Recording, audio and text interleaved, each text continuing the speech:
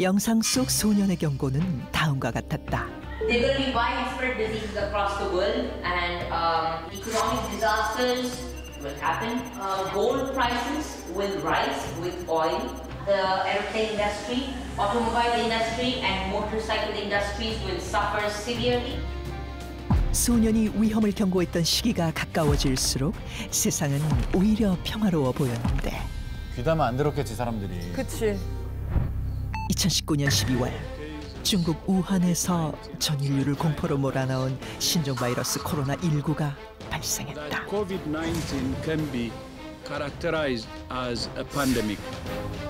이후 코로나 19는 급속도로 퍼져 전 세계를 공포에 몰아넣었고 아, 아, 소년이 예언한 전 세계적으로 생겨난 질병의 문제. 코로나19 팬데믹이 실제로 일어난 것이다. 뿐만 아니라 팬데믹 이후 찾아온 경제 위기와 가장 큰 타격을 입게 될 항공 운송업계에 대한 전망까지. 세계의 어두운 상황은 소년의 예언과 정확하게 일치했다. 와 어떻게?